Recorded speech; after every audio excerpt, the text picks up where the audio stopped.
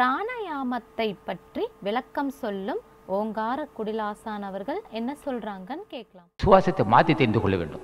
சுவாசத்தை மாற்றி தெரிந்து கொண்டவனுக்கு இந்த மாதிரி சொல்லி தருவார்கள். இப்படி மூச்சு காற்று இப்படி மாற்றுறது இப்படி மாற்றுறது மூச்சு இப்படி கட்டுறது சொல்லி தருவாங்க. சொல்லி தந்தால் என்ன ஆகும் வலது பக்கம் சுவாசம் இயங்கும்போது பெண்ணுறவு கொண்டால் ஆண் ஆண் குழந்தை பிறக்கும்.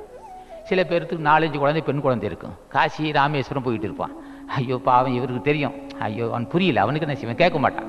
அப்போ என்ன செய்வான்? பிராணாசிர மக்கள் பயிற்சி உள்ள மக்களுக்கு நாலு ரெண்டு ரெண்டு மூணு பெண் குழந்தை இருந்தால் சுவாசத்தை வலது பக்கம் ஏக்கசி ஏக்கி பெண்ணுறவு கொண்டால் ஆண் குழந்தை தெரிக்கும் இப்படி ஒரு பழக்கம் இதெல்லாம் இருக்குது சரியா? அந்திய காலம் வந்ததுயா?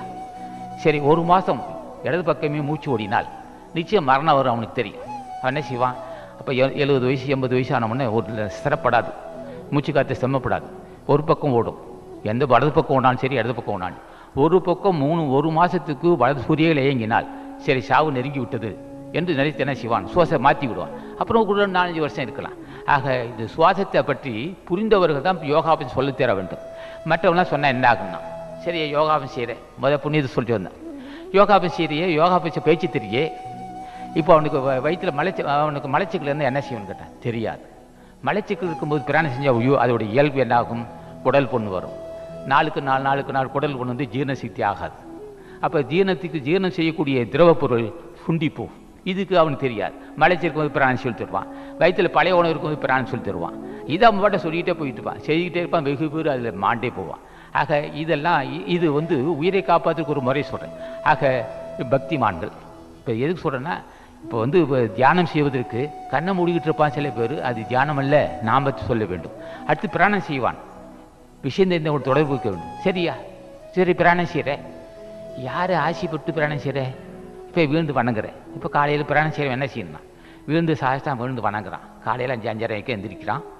அஞ்சரை மணிக்கு எழுந்து மலைத்தலம் கழிச்சிட்டு குளிச்சுட்டு என்ன செய்வான்? சாஸ்தாங்க விழுந்து வணங்குவான். வீசி விழுந்து வணங்கி ஒரு தீபத்தை ஏற்றி அது முன்னே ஒரு பலகையில் உட்கார்ந்து ஆசான் நினைக்கிறான். அப்போ ஆசான் அகத்தீசன் நினைக்கிறான். அகத்தீஸ்வரா அடியின் வாசியோடு வாசியாக கலந்திருந்து எனக்கு அருள் செய்யன்னு கேட்பான். எல்லா ஞானியும் கூப்பிடுவான்.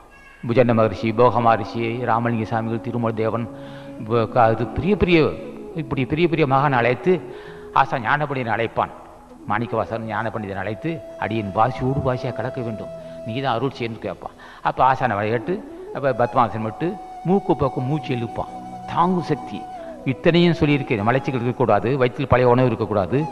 ஜுரம் ஜுரம் இருக்கக்கூடாது பெண்ணுறுகுல காத்து இருக்கக்கூடாது உடம்பு ஆரோக்கியமாக இருக்க வேண்டும் மன செம்மப்பட மன சாந்தம் இருக்க வேண்டும் இப்படியா இருக்க வேண்டும் இப்படி செய்கிற மக்கள் தான் அந்த வாய்ப்பு கிடைக்கும். அப்போ இழுந்து வணங்கி ஆசான் வணங்கி அடியின் வாசியோடு வாசியாக கிடக்கும்னு சொல்லி மூச்சு இழுத்து நிறுத்தினால் அதோட இயல்பு என்னாகும்? உடலை பற்றி உயிரை பற்றி அறிந்து கொள்ளலாம்.